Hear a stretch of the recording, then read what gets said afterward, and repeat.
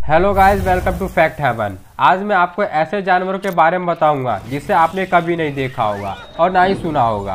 पहला है Bob fish प्रकृति की बनाई हुई कोई भी चीज़ या जीव कभी बदसूरत नहीं हो सकती।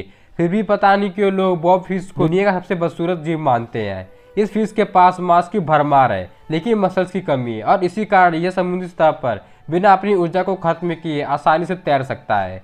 यह मछली समुद्र में करीब 1500 मीटर नीचे पाई जाती है। इस तरह की मछलियाँ तस्मानिया और ऑस्ट्रेलिया वाले समुद्र में पाई जाती हैं। यह मछली केकड़े और कुछ छोटे जीवों को खाकर अपना पेट भरती हैं। दूसरा है नरवाल। अंटार्कटिक महासागर में पाए जाने वाली नरवाल एक छोटे दांतों वाले वेल है, लेकिन ये अन्य वेलों को बिल्कुल विपरीत होते हैं। क्योंकि इनके पास एक लंबी तलवार नुमा नोकदार दांत जैसे होते हैं। इस नुकीली की लंबाई 9 फीट तक हो सकती है, लेकिन माता नरवाल में इतनी लंबी नोक देखने को नहीं मिलती। नरवाल नरों के ये लंबे नुकीले दांत मादा को आकर्षित करने में आम भूमिका अदा करते हैं। इनके यह लंबे दांत मादा के साथ संभोग करने और प्रतिद्वंदियों से लड़ने में सहायक होते हैं। इन नरवाल का अधिकतम वज़न दो टन तक होता है और ये नरवाल मछली खाते हैं और कुछ ना मिलने पर झींगा भी खा लेते हैं।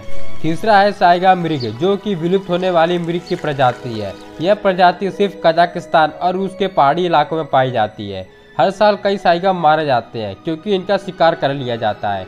साइगा की नाक इस जीव को अलग अलग वातावरण से शुद्ध हवा लेने के काम आती है। साइगा मृग की लंबाई 90 सेंटीमीटर तक होती है। साइगा की मर्दाना नस्ल 50 से 60 मृगों का एक झुंड बनाते हैं। मौसम गर्म होने पर यह जानवर इधर उधर प्रस्थान करते हैं। चौथा है ग्लोबिन शार्क। यह प्रजाति 130 मिलियन साल पुरानी है। इसी कारण इसे जीवित जीवाश्म माना जाता है। इनका लंबा मुँह और मज़बूत जबड़ा इन्हें दुनिया में सबसे अजीब और अनोखा जानवर बनाता है। यह मछली समुद्र में 1900 मीटर की गहराई पर पाई जाती है। इनके मुँह के भीतर बेहद नुकीले और बड़े कील जैसे दांत होते हैं और इनका खास भोजन ड्रैगन फ़िश और रेटल होता है। पांचवा है ग्लोकस अंटलाटिकस नीली सड़क प्रजाति का यह जीव ब्लू ड्रैगन के नाम से प्रसिद्ध है। यह जीव ज़्यादातर गर्म पानी वाले समुद्र में मिलते हैं। यह हमेशा समुद्र की सतह पर ऊपर तैरता हुआ दिखता है, क्योंकि इनके पेट में गैस भरी होती है। छठा है वेनेजुएला पोर्टल, जिसे दो हज़ार नौ में वेनेजुएला में खोजा गया था। आर्थर एंकर एक व्यक्ति थे, जिन्होंने पोर्टल को ढूंढ निकाला था। हालाँकि पोर्टल लेटिन नाम नहीं है, क्योंकि यह नहीं पता कि किस परिवार से संबंधित है, और इस पोर्टल को अभी तक मारा नहीं गया है, और इसीलिए इसके बाल उतने मुलायम और गद्देदार नहीं है, जितने दिखते हैं, क्योंकि जानवर गर्मी के लिए बाल उगाते हैं, और बालों वाले कीड़े महक और अच्छा उद्देश्य के लिए इनका उपयोग करते हैं। सातवां है जापानी मकड़ी केकड़ा। आर्थोपोडा श्रेणी में आने वाला यह जापानी मकड़ी केकड़े। देखने में आपको कितने ही बदसूरत लगे, पर इन्हें अनोखे जानवरों को सूची में शामिल किया गया है। आर्थोपोडा ग्रुप में सबसे लंबे पैर होने का रिकॉर्ड इन्हीं के पास है। इनके पैरों की कुल लंबाई नापने पर चार मीटर तक हो सकती है। 2000 मीटर की गहराई पर पाए जाने वाला यह केकड़ा देखने में किसी बड़ी मकड़ी जैसा प्रतीत होता है।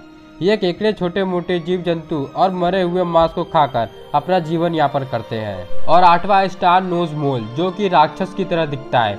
ये मोज अंधे होते हैं और इनकी नाक कीड़े और छोटी मछलियों को खोजने और उन्हें पकड़ने में मदद करती है, जिस पर वे प्यार करना पसंद करते हैं। पहले ये अपने बारी जाल के साथ इनकी जाँच शुरू करता है, जिसे तकनीकी रूप से किरणे कहा जाता है। फिर इसके आंतरिक सेंसर यह निर्धारित करते हैं कि वस्तु खाने में स्वादिष्ट है या नहीं।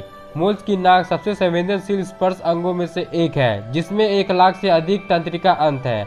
आज के लिए बस इतना ही। अगर वीडियो पसंद आया है तो लाइक और हमारे चैनल को सब्सक्राइब ज़रूर करें। धन्यवाद।